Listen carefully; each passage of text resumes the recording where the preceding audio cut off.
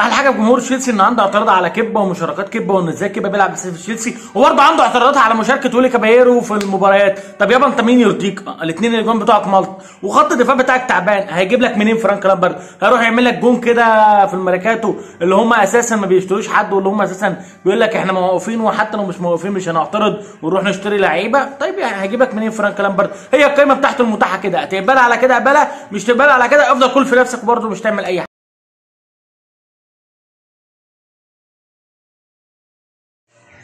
بسم الله الرحمن الرحيم. ارحم حاجة في الكورة بالنسبة لك أنت كمدرب إنك تعمل كل اللي عليك بره على الخط وتحط الخطة الممتازة وتحط تشكيله اللي أنت معتقد إن هي مثالية بس غلطة واحدة بس في التشكيلة دي اللي تضيع لك الدنيا إنك تكون مغير حارس مرمى مهزوز بحارس مرمى احتياطي أسوأ منه. يعني لو حطيت ان كبه حارس مرمى مهزوز فوقت كتير حارس مرمى بيصادفوا وسوء توفيق وسوء حظ.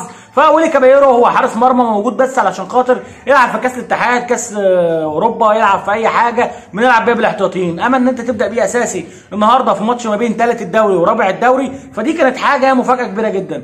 قبل ما نتكلم في أي حاجة مش تخسر أي حاجة. لو عملت like وعملت subscribe أنا عارف إن إحنا اتكلمنا. في كابايرو وعارف كمان إن إحنا اتكلمنا على إن تشيلسي عمل مباراة ممتازة تكتيكيا. تشيلسي مفترض إن هو عارف يقرأ. ليستر سيتي بيلعب إزاي؟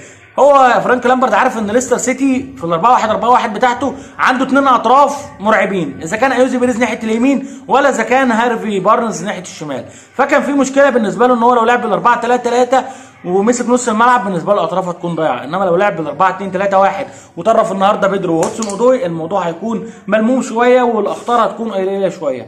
الحالة الهجومية بالنسبة لتشيلسي لامبرد ما بيحطلهاش أي مشاكل. لأن لعيبته تقدر تجيب جوان حتى لو ضيعت جوان. يعني حتى لو لعيبه تشيلسي وصلت في الشوط الأول ثلاث فرص وقدروا إن هم ما يحرزوش ولا واحدة فيهم ففي الكرة الرابعة أكيد هيجيبوا في الكرة الخامسة أكيد هيجيبوا. بس المشكلة بالنسبة له هو خط الدفاع. خط الدفاع هو عارف كويس قوي إن خط الدفاع بتاعه ممكن يكون خط الدفاع الأسوأ بالنسبة لحقبه زمنية. في تشيلسي طويلة جدا خط الدفاع اللي هو غير فيه الأربعة. والأربعة بسم الله ما شاء الله أسوأ من بعض إذا كان كورت زوما ولا إذا كان كريستيانسن ولا إذا كان كمان روديجر النهارده بيقدر يجيب جونين وبيقدر إن هو يبقى man of the match بس ده في الحالة الهجومية إنما في الحالة الدفاعية فين واجباتك الدفاعية؟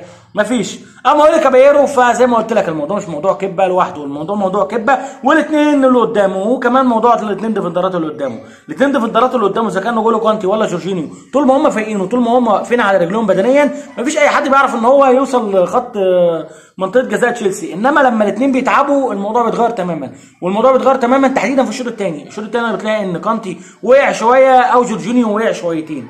النهارده هو اكتشف إن جورجينيو هو اللي وقع فراح مغيره. الماتش اللي فات بتاع أرسنال كان شايف إن آه، بعد الهدف كان لازم يغير نجولو كانتي. فالفكرة بالنسبة له واضحة. لما حد بيتعب في نص الملعب المشكلة بتكون في اللي وراهم. اللي وراهم دول النهارده هو حاول يأمنهم بسيزر أسبليكوتا ناحية الشمال. سيزر أسبليكوتا اللي ما كانش واخد واجبات هجوميه لأنه في الواجبات الهجومية ناحية الشمال أكيد مش هيجدها لأن مش هيبقى على عدل رجله. فبيقرر إن هو يعمل بيه واجبات دفاعية كتير ومفترض كمان إن ينضم له في الحالة الدفاعية بيدرو. بيدرو اللي أنت ممكن ما تكونش حاسس بيه وما تكونش عارف إيه دوره في الملعب. هجوميا لأنه كان يعني كجناح هو مش عامل خطورة على المرمى. هما كلهم عملوا جملة تكتيكية. الشوط الأول كانت ممتازة جدا في أول 10 دقائق أول 10 دقائق فضلوا يباصوا الكرات لبعض علشان خاطر يخلقوا مساحة في دفاع ليستر. وبعد ما خلقوا المساحة في دفاع ليستر الكرة اتلعبت ما بين تغيير آه، لما تغيير مراكز. ممتاز جدا. بيقدر هودسون أودوي يخش في الم... على حدود منطقة الجزاء وتتلعب له الكرة من سيزر اسبليكويتا ويلا يا عم هودسون هات جون بقى. لا هو هودسون أودوي بيشلت. بداية حلوة. بدايه حلوة خصوصا إن هودسون أودوي من الناس اللي كان منتظر إن هم يبقى بازغ نجومه في الموسم ده بس مع ذلك هوتسون أودوي ممكن يكون موسم مونت وتامي إبراهيم خطفوا منه الجو وتامي إبراهيم وموسم مونت بقوا مؤثرين عنه بكتير.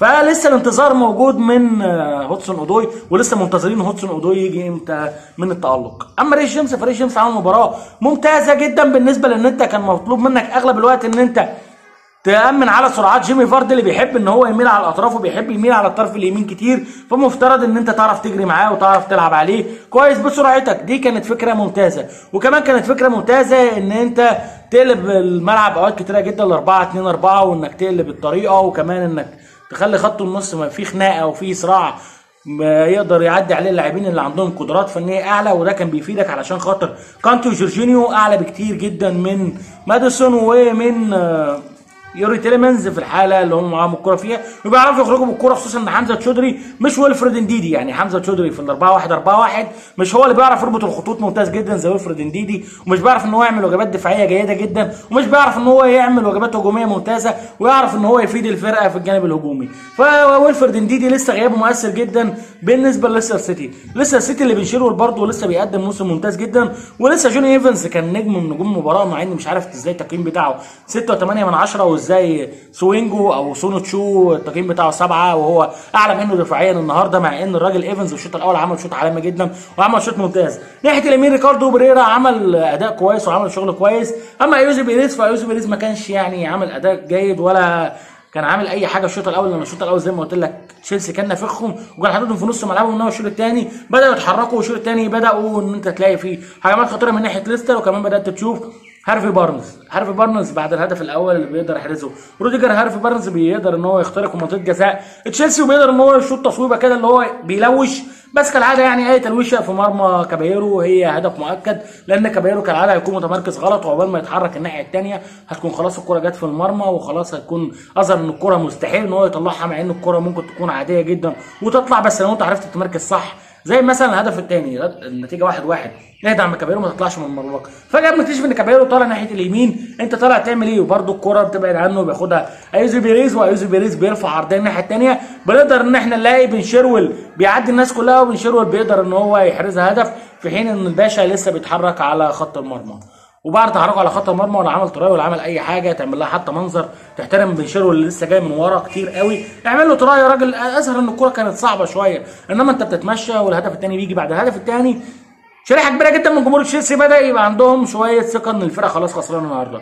بس بعد كده بنلاقي إن إحنا في كره ثابتة برده بيقدر أنطونيو روديجر يحطها حلوة قوي قوي قوي قوي قوي بعيدة قوي عن كاسبر شمايكل علشان خاطر الهدف الثاني يجي وتقلب 2 2 ونبدأ نلاقي التغييرات نلاقي إن فرانك لامبارد شاف إن جورجينيو تعب يحط مكانه ماتيو كوفاتيتش ويلاقي إن بيدرو كمان تعب ونزل مكانه ويليان. وبعد كده بنلاقي إن بنلاقي ان براندون روجرز برضه اكتشف إن الفرقة عنده تعبت وإن هو محتاج يغير يوري تيلمنز يوري تيلمنز النهارده. ما كانش في عادته والنهارده ما كانش جيد جدا. مش عارف يوري تيلمنز قدم أداء ممتاز وهو في فترة الأعارة. أول ما اشتروه مش عارف بقى مستواه غريب جدا. وكمان ماديسون. ماديسون برده ما قدمش مباراة ممتازة ولا قدم أي حاجة. ولا قدم مباراة ممتازة النهارده هو هارفي بارنز. هارفي بارنز كان ممكن يحرز الهدف الثالث الهدف الثالث اللي كان ممكن يخلص الدنيا كلها جيمي فاردي برده في الحتة اللي فرانك لامبارد كان خايف منها. حتة إن جيمي فاردي بيتطرف على الطرف جيمي فاردي اتطرف على الطرف ودخل مكانه. هارفي بارنز في في العمق. وبارنز بيلعبها حلوة قوي قوي بس للأسف الكرة بتفرق على سنتيمترات علشان خاطر المكسب بيضيع من ليستر والنقطة تيجي لتشيلسي. نقطة النهارده جت لتشيلسي علشان تثبت حاجة مهمة. ان العيب مش في كيبا والعيب مش في أشخاص. المنظومة الدفاعية بالنسبة لتشيلسي منظومة مالط ومنظومة عريانه فلو أنت عايز تلبس شخص واحد بس من المنظومه دي بسبب سوء توفيقه في مباريات كتيرة جدا بيلعبها آه كيبا غير موفق في ماتشات كتيرة بيلعبها. كيبا ممكن تلاقي إن الكرة خبط خبطت في العارضة وجت في وشه زي ماتش اياكس وجت جون. ممكن تلاقي إن الكرة بتخبط في رجله وبتخش جون. حارس غير موفق لكنه حارس ممتاز جدا. لو أنت عايز تبدله هات حارس ممتاز يعرف إن هو يشيل الفرقة. حارس ممكن يكون عنده شوية بخت إنما مش ويتفر مش كبايرو خالص. يعني. مش كبايرو خالص فعلا يعني مش كبايرو اللي انت تبدا بيه النهارده. انت النهارده بدأت بكبايرو كبايرو ضيع لك الدنيا. هتقول لي كبايرو مش أسوأ من كيبا؟ لا كبايرو أسوأ من كيبا وكبايرو أسوأ كتير قوي من كل الاجوان اللي عدوا في تشيلسي كبايرو راجل عنده 38 سنة جاي من 2017 متعود إن هو ما بيلعبش في ماتشات الدوري. فأنت جاي تحطه ما بين ماتش ثالث ورابع. أنت بتهرج يا عم الحاج. فالتهرجه بتاعت لامبارد دي ضيعت كل الشغل التكتيكي اللي هو عامله. لامبارد عمل مباراة تكتيكية كويسة على براندون روجرز بس للأسف حتة كابايرو دي ضيعت الدنيا بالنسبة له.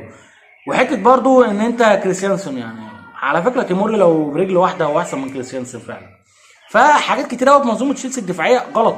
فعادي الفرقة ممكن تجيب جون بس بعد كده ما تحملش الضغط اللي عليها وتلاقي إن الفرقة اللي قدامها اتعادلت بسهولة. وممكن كمان لو تشد عليها تلاقي إن الفرقة اللي قدامها حطت الثاني والثالث خط دفاع تشيلسي هو خط دفاع مضحك مش ممكن يوصلك لأي حاجة. ممكن توصل دوري ابطال السنة الجاية علشان خاطر توتنهام ومانشستر يونايتد. وأرسنال عندهم مشاكل في إن هم يوصلوا في ال top four بس ده مش هيثبت لك إن أنت عندك لعيبة دفاعيين جيدين. لعيبه تشيلسي دفاعيا مالط ولاعيبه تشيلسي عندهم مشاكل كتيرة قوي. والمدرب برضه عمال يغير في حاجات وفرانك لامبارد لحد دلوقتي لسه ما على الشكل اللي هو بيلعب بيه. لعب ثلاثة ولعب 4 3 3 ولعب 4 2 3 1 وعمال كل ماتش يغير تشكيلة.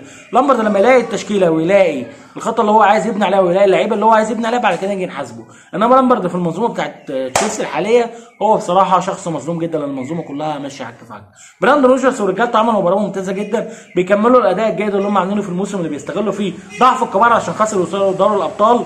فبراندون روجرز بالطريقة اللي هو ماشي بيها دي أعتقد إن هو هيبقى أكتر فرقة ضمن دوري أبطال أوروبا في ال- الناس اللي هي ما كانتش مطالب منها إنها توصل دوري أبطال يعني. ال target بتاع ليستر مش إنه يوصل دوري أبطال.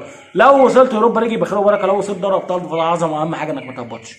بص مش هتخسر أي حاجة لو عملت لو عملت like أو عملت subscribe للقناه لا هو عيب ولا حرام. شكرا كملت الفيديو لآخره. ده كملته لآخره.